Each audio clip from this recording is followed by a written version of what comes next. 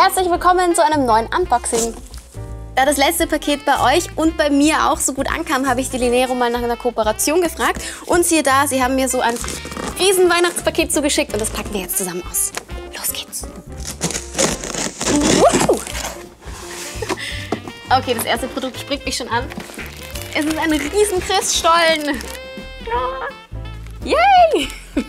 Ich bin eigentlich nicht so der Christstollen-Fan, aber der ist aus Dresden und Lizzie ist aus Dresden. Und wenn Lizzie, wenn du das siehst, deswegen muss der einfach gut sein. Dresden ist außerdem eine Hammerstadt. Also würde ich sagen, probieren wir den einfach mal. Von dieser Mama hier gebacken. Wenn ich ausschaue, als wäre eine Dampfwalze über mich gefahren, dann liegt das daran, dass eine Dampfwalze über mich gefahren ist. Bitte verzeiht mir. Das ist der Schutzverband. Leute, das ist der Schutzverband Dresdner Stollen. Was es nicht alles gibt. Wow. Ich halte hier ein Stück Geschichte in meiner Hand. Ich freue mich gerade wie ein kleines Kind. das ist so toll. Also wenn der mit Marzipan ist, dann liebe ich ihn jetzt schon. Oh, ich hoffe, der ist mit Marzipan. Äh, auf jeden Fall mit vielen Rosinen.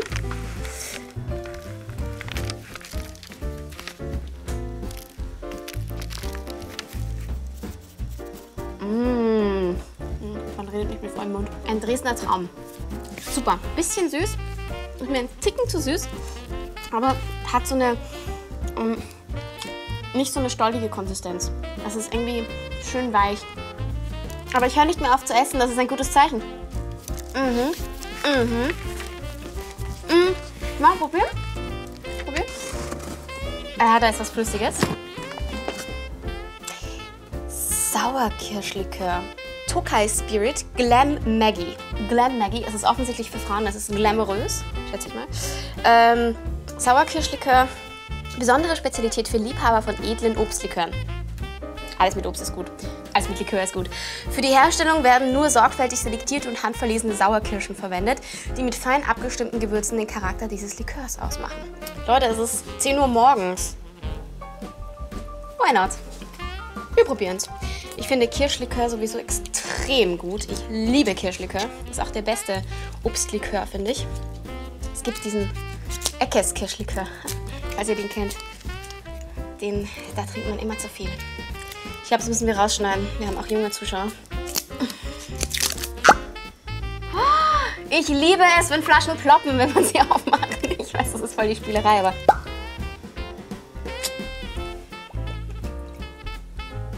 Geschüttelt, nicht gerührt. Prost. Mhm, das ist Sauerkirsche, weil es eben nicht so süß ist wie normaler Kirschlikör, was mir sehr gefällt. Ich trinke gerade ernsthaft um 10 Uhr morgens Kirschlikör. Oh mein Gott. Wie konnte es so weit kommen? Wir machen schnell weiter. Das ist übrigens ein richtiges Weihnachtspaket, also wenn ihr jetzt nicht in Weihnachtsstimmung kommt, dann weiß ich auch nicht. Spekulatius sehen ein bisschen aus. Von außen finde ich wie die, äh, diese holländischen Waffeln. Mann, sind die hübsch verpackt. Nee, das kann ich nicht auspacken. Das ist zu schön. Feines aus dem Gebäckhäuschen. Feines Spekulatius-Waffelgebäck, nach traditionellem Rezept abgeschmeckt, knusprig dünn, wie aus der Backstube, hochwertig verpackt im Lebkuchenhäuschen. Cool. Na gut, wir probieren es trotzdem. Ich bin immer voll schlecht, ich zerreiße immer alle Verpackungen. Auch wenn ich Geschenke auspacke, dann ist es immer so... Bin echt eine Niete in sowas. Ja. Ha. Man darf, man darf ja Hilfsmittel nutzen. Ja, das, das riecht spekulatiusig. Sieht aus wie Spekulatius.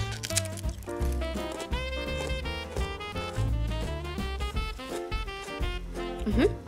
Und siehe da, es schmeckt nach Spekulatius. Nicht so süß mh, wie das billige. Also, das muss man ihm lassen. Es ist wirklich, also es ist schon, mh, schmeckt fein. Aber die Verpackung ist, glaube ich, das, was das Besondere drin ist. Ich finde den Geschmack wahnsinnig toll, wenn man ihn kombiniert in Kaffee oder in meinetwegen Kuchen oder Stollen. Das muss ich mal ausprobieren. Ah, das kommt mir bekannt vor. Fondue au Chocolat Noir. Das ist ein Schokoladenfondue. Ähm, das kenne ich irgendwie aus, aus einigen Shops, aber ich weiß nicht genau, wie es funktioniert. Also auch wieder ganz, ganz süß verpackt. Deckel abnehmen. Steintopf für ca. 10 bis 15 Minuten ins heiße Wasser, nicht kochende Wasserbad stellen. Mehrmals umrühren, es darf kein Wasser ins Schokoladenfondue gelangen. Ich habe gehört, das soll richtig geil sein, weil es ist halt irgendwie, es wird dann flüssige Schokolade und dann kann man ja, Erdbeeren, Obst, Gemüse, Bacon und was einem sonst noch für crazy shit einfällt reintauchen. Das schmeckt bestimmt gut. Und es ist 70-prozentige Schokolade. Ich bin ein Riesenfan von 70-prozentiger Schokolade, weil ich mag die lieber als die Vollmilch. Mm, weil sie diesen leicht herben Geschmack hat. Ich, ich glaube, es gibt auch einige von euch, die mögen das auch total gern. Ähm, das mit Banane ist auch geil. Das mit Banane und Joghurt. Oh.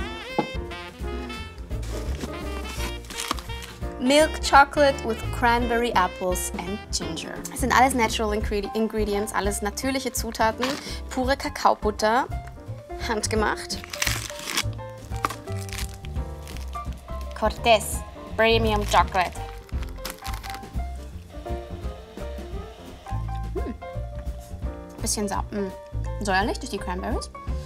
Mm. Den Ingwer schmecke ich jetzt nun gar nicht. Schokolade ist ganz fein. Die Cranberries sind nicht so meins. Ich mag es nicht, wenn so was Säuerliches reinkommt. Was? Achso, ah, ja, okay. André möchte, äh, André, Janik möchte auch. Mhm. Okay, also Janik, der Kameramann, findet es lecker. Und der Herd möchte auch was haben schon wieder. Aha, aha, aha, aha. Glog.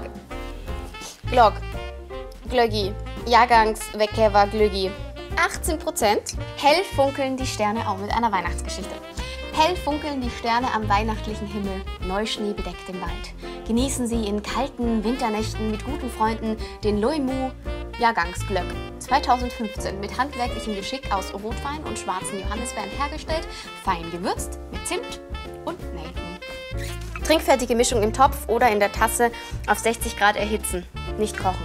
Nee, das probiere ich jetzt nicht, aber ich bin mir sicher, das wird total gut schmecken. Aber ganz ehrlich, mal abgesehen davon, ob das jetzt schmeckt oder nicht, diese Verpackung ist wirklich der Wahnsinn. Diese Flasche ist so geil ja mal. Die werde ich mir auf jeden Fall bei mir zu Hause ausstellen als Schmuckstück.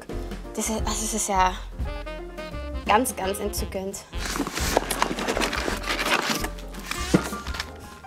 Schon wieder was Keksartiges, aber es sind alles so Plain Kekse. Ich glaube, die Skandinavier, die übertreiben einfach nicht so gern. Die sind so ganz schlicht.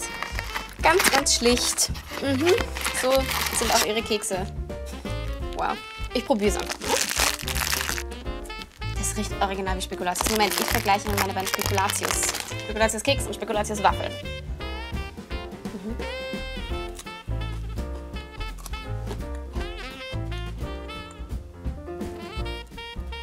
Ich einen Unterschied merken?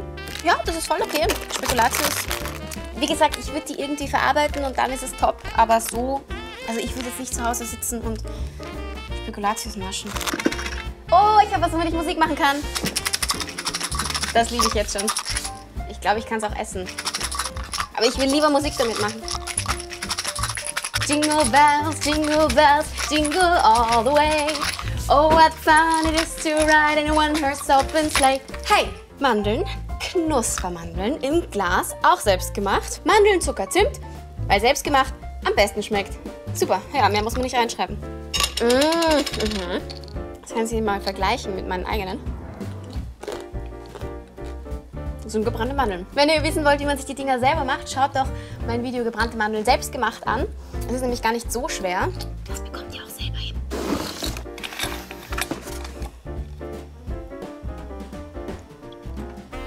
ist es abgefahren, es ist aufgesprungen, glaube ich. Ich glaube, das war nicht beabsichtigt, das gehört eigentlich zu. Aber es ist jetzt offen gewesen, es war jetzt irgendwie so, huh, was kommt hier? Was passiert hier? Die sehen so surreal aus. Das ist auch echt so, mal wieder typisch. Das ist auch echt so ein richtiges Prinzessinnen-Geschenk, finde ich. Mhm, mhm, mhm. Weiße Schokolade außen. Lakritz. Was ist dieses rosa Glitzerding? Es färbt noch ein bisschen ab, aber das ist, ist das cool. Und Pralinen aus süßem Weichlakritz, umhüllt von weißer Schokolade. Ich mag noch eins. Oh, das ist Kakao. Nein, das ist nicht Kakao, es ist Trinkschokolade. Trinkschokolade ist ja immer noch intensivere Schokolade. Wir verarbeiten nur erstklassige Rohkakaos aus den besten Anbaugebieten der Welt. Erleben Sie den unwiderstehlichen Duft und die Aromenvielfalt unserer Trinkschokoladen. ein unvergessliches Erlebnis. Heißt das Simon Confiserie? Die heißt Simon Confiserie. die heißt, die heißt Simon Confiserie. Sehr lustig. Mein Freund heißt Simon, deswegen ist es lustig. Ich finde es total süß, dass Simon mir so ein Geschenk macht. Das ist eine Konfiserie seit 1903 in Passau. Ich probiere es mal schnell aus, wie sie schmeckt. Einfach 0,2 Liter Milch in einem Topf auf ca. 80 Grad Celsius erhitzen, aber bitte nicht kochen. Heiße Milch in eine Tasse umfüllen und ca. zwei gestrichene Verschlusskappen Trinkschokolade unterrühren in die Tasse einfüllen. Wisst ihr, was cool ist, was mir jetzt gerade einfällt? Ich kann gleich in meine Trinkschokolade dann ja mal die Spekulatius reintunken und schauen, wie das so schmeckt. Ganz löst sich es nicht auf, glaube ich. Also es sind noch immer so ganz kleine Stücke. Und es ist ein bisschen heller als normaler Kakao. Ich probiere es jetzt mal. Mmh, das ist echt Nougat. Das schmeckt nussig, cremig. Leute, es duftet herrlich nach Schokolade. Und ich würde sagen, Spekulatius, Trinkschokolade. Himmel. Für mehr Unboxings gebt doch einen Daumen nach oben. Vielen Dank an Delinero für dieses weihnachtliche Paket. Ich bin jetzt voll in Stimmung und freue mich aufs nächste Mal mit euch. Bussi, Baba.